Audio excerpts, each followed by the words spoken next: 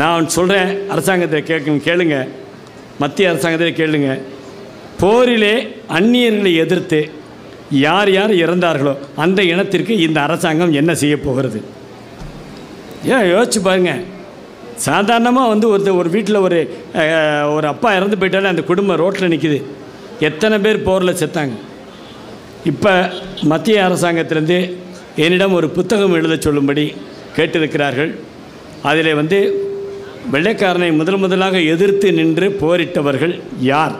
என்ற கேள்விக்கு நான் விடையளிப்பதற்காக எழுதி கொண்டிருக்கின்றேன். கடந்த ஒரு மாதமாக நான் இரவு பகல் உட்கார்ந்து எழுதி அவர் அப்படி பார்க்கும் பொழுது அவன் உடனே சொல்லுவான் வட இந்தியாவில் இருக்கிறவன் ஆயிரத்தி எண்ணூற்றி ஐம்பத்தி ஏழில் சிப்பாய் கழகம் தான் முதல் இந்திய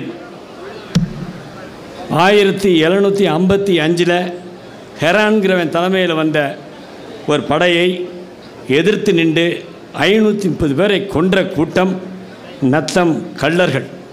அவங்க தான் முத முத மோதுறாங்க. முத முத மோதி அவன் என்ன பண்ணிடுறான் ஹெரான்?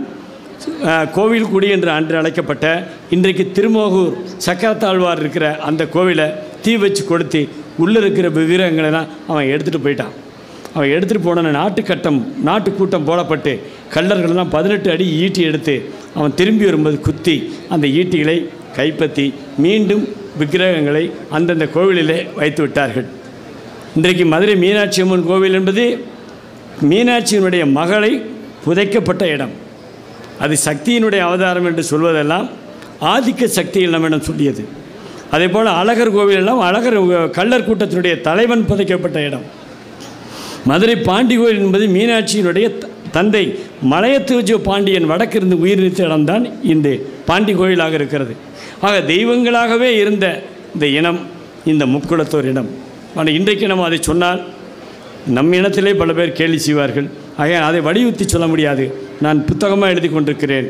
ஆனால் க கமலஹாசன் எடுத்த மருதநாயகம் என்ற யூசுப் கான் கதையை கள்ளர்கள் மிக அதிகமாக அவனுக்கு ஆதரவளித்தார்கள் என்ற காரணத்தால் கேப்டன் ரூம்லி என்ற என்பவருடைய தலைமையிலே ஆயிரத்தி ஐநூறு பேர் கொண்ட படை வீரர்கள் வெள்ளலூர் நாட்டிலே வந்து அங்கே இருக்கக்கூடிய கள்ளர்கள் ஆண் பெண் குழந்தைகள் என மூவாயிரம் பேரை ஒரே நேரத்தில் ஒரே நாளில் வெட்டி கொன்றான் இதுதான் இந்தியாவிலே நடந்த மிகப்பெரிய படுகொலை ஜாலியன் வாலாபாக் அல்ல.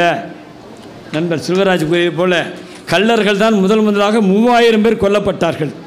அதுக்கு அடுத்த வாரம் நவாபுடைய ஏஜென்ட் வந்து வரி வசூலுக்கு வருகிறான். அவன் கொல்லப்பட்ட காரணத்தால் மீண்டும் அதே ரூம்லேயே துப்பாக்கி படையோடு வந்து இன்னும் இரண்டாயிரம் பேரை கொண்டிருக்கிறான் ஆக வரி கொடுக்க மாட்டோம் என்று மறுத்தவர்களை இந்த கள்ளர்கள் கூட்டத்தை வெள்ளைக்காரன் ஐயாயிரம் பேர்களை கொன்று குவித்த சான்றுகள் இது நான் கூறவில்லை. வெள்ளைக்காரன் கூறியிருக்கிறான். அவனுடைய டாக்குமெண்ட்ஸ் எல்லாம் ஏன்ட்டே இருக்குது அதை வச்சு தான் இந்த ரெண்டு புத்தகம் எழுதிக்கிட்டு இருக்கேன். இந்த புத்தகம் நான் முதல்ல நான் இப்போ எழுதுறது ஆங்கிலத்தில் எழுதிக்கிட்டு இருக்கேன். அது பிறகு தமிழில் வரும். ஸோ அதெல்லாம் நீங்கள் வாங்கி படிக்கணும்.